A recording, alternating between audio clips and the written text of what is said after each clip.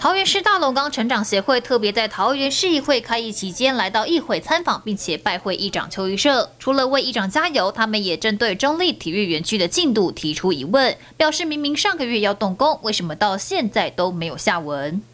本来预计招标顺利的话是三月份要动工，所以现在因为流标，所以稍微会 delay 了一下，哦，但是对整个一个。工程的进度没有影响，哎，所以提延期是已经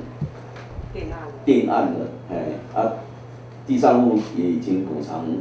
啊完毕了，哦，所以现在只是工程的招标有受到一点耽误。议长回应，体育园区工程因为流标而停滞，目前正在进行重新招标的作业，但建设期程不会受到影响。另外，也有人提到，由于体育园区用地暂时还不会施工，是否可以开放活动使用，让民众可以运动？